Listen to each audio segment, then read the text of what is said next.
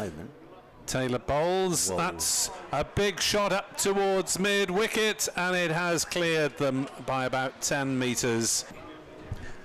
Next delivery hit inside out over cover. Will this carry? It will.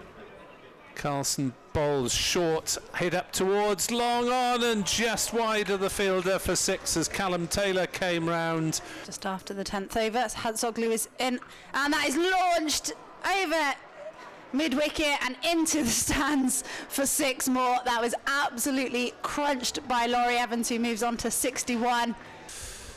Chris Cooke will regret that one, especially as the next ball is belted into the crowd at long off.